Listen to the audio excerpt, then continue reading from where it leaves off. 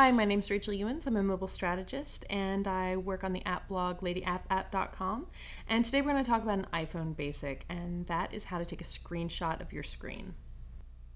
So, taking a screenshot of our iPhone is basically taking a snapshot of what's actually happening on the screen at the time. So, in order to take a screenshot, we're going to use two buttons and we're going to use them simultaneously.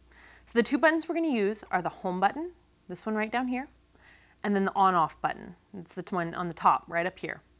So we have to hit them simultaneously to take the photo. Now we're going to do it on three. One, two, three. Now you saw a flash of white, that means the photo was taken. So we're going to check it out.